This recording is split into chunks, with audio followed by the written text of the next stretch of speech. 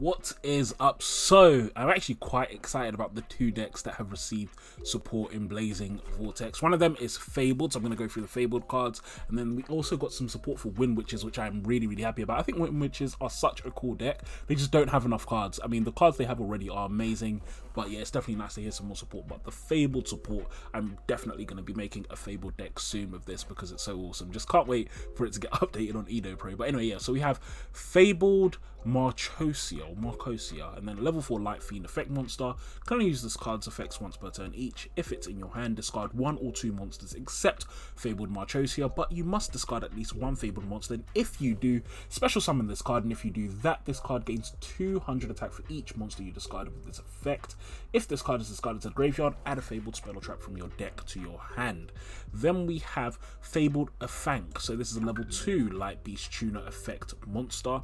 This card, if it's in your graveyard, you can discard one Fabled monster, special summon this, but banish it when it leaves the field. This is pretty standard kind of Fabled effect. I think there's one or two other cards that have a similar effect to this as well. Then we have their Synchro. This is a great Synchro monster. So Fabled Andraith needs a Fabled Tuner and one non-tuner monster. Can only use this card's effects once per turn. If it's special summoned, your opponent can discard one card to negate this effect. Otherwise, you just draw two cards, discard one.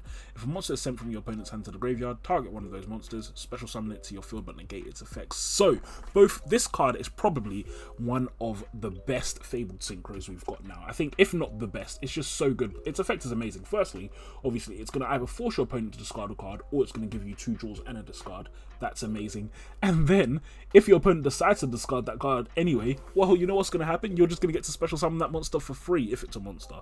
So, I mean, that's an incredible effect. It really, really makes this card never a bad idea to summon, in my opinion, because at worst, your opponent's going to have to bait out negate for it at worst because they're gonna they're either going to lose one card or they're going to have to bait out negate. I mean, it's, it's amazing, and also being level six is nice. Burning Abyss might have some plays with this and Soul Kiss for Beatrice now because it'll be quite easy for them to bring it out.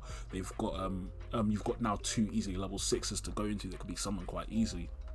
But then we have Stairway to the Fabled World. So they have a field spell now. So when this card resolves, send a Fabled from your deck to your graveyard, target one Fabled in your graveyard, discard two cards, add it to your hand, and during damage calc, if your Fabled monster is attacking an opponent's monster and you have fewer cards in hand than your opponent, your attacking Fabled monster gains attack equal to your current hand side deficit times 200 during that damage calculation only. So, guys, this is another really, really good card for the Fabled archetype. I mean, to, to be honest, just the first effect makes it awesome but then the second effect is great as also you've got a free foolish burial so the card's already doing bits for you.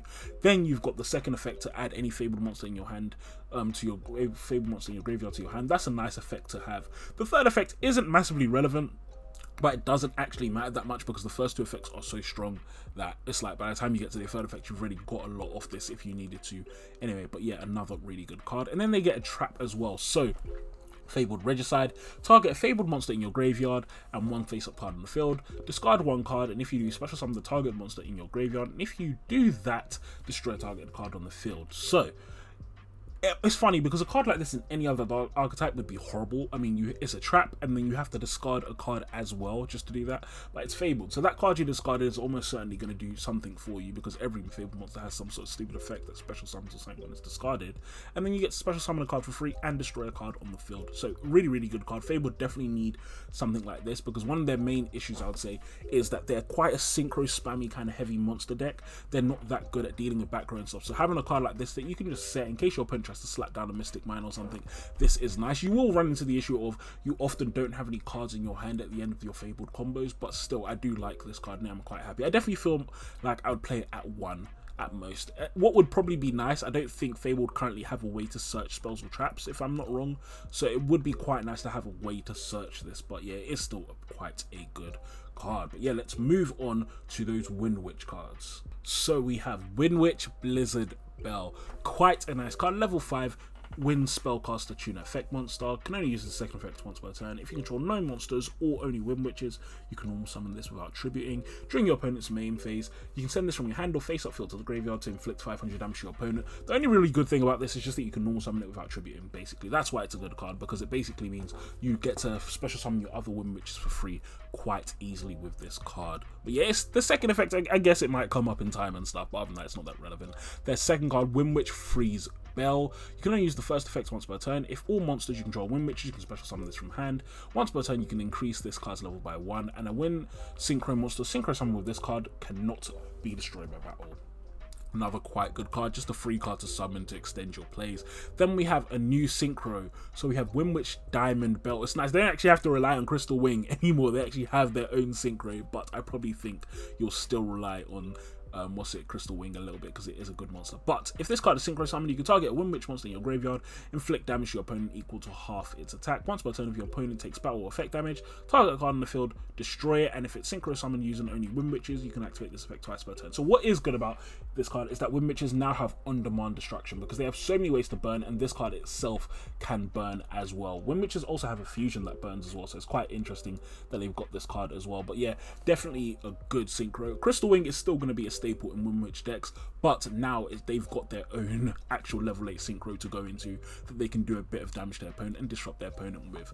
Then you have their normal spell. This spell is incredible. So you can't special summon monsters turn you activate this card to Wind monsters, standard clause, target one Wind Witch monster you control, special summon one Wind Witch with a different name from that face up monster from your deck in defense position. This card is insane. It's just a normal, it's basically emergency teleport, but for Wind Witches. There's nothing bad I can say about this card. It's amazing. Just summon any Wind Witch from your deck with this card. I mean, we definitely definitely are going to see this card played at 3 in all your Windwitch variants. In Magispector variants, you need to play this card because it's just so good. Just a free summon. I mean, it's so funny how you can have such a simple card like this. Some, such a simple effect, but then you have such a strong card like this. I mean, it's really, really awesome. This card also reminds, reminds me of Lunar Light Perfume. I know someone's going to laugh at me and say, that's, there's some lore or something. Uh, okay, I, I don't watch you, I don't know. But anyway, yeah, it really reminds me of Lunar Light Perfume with the artwork. But anyway, we have their Trap card as well. So, Trap card is okay. Target a Windwitch monster in your graveyard, special summon it in defense. When your opponent activates a card or effect in response to your activation of Wind Windwitch monster effects, negate that effect. So, nice standard negate to back up. It would have been nice if it was a counter trap, but to be honest, I get why it's not. They don't need that much speed because they've already got free negates on demand because of Crystal Wing that they can access really easily. And it's a monster reborn as well. So to be honest, yeah, we're, we're quite happy with this card. I mean, there's nothing really we can complain about. But yeah, that is the Windwitch support. A bunch of really nice cards. And I would say it's nice because Windwitch now feel like an actual archetype instead of just three cards. Technically like five because they have two extra deck ones. But yeah, instead of just feeling like three random cards that was splashed somewhere, it's actually an archetype and they actually have got some good cards now. So guys, that is some of the new support in Blazing Vortex. I'm very excited for the set and I'm definitely going to have some new deck profiles of both Windwitches and Fabled coming out for you soon soon. So if you've enjoyed this video, make sure to leave a like, comment, and subscribe. Got more content coming out for you really, really soon. I'll talk to you all later. Peace.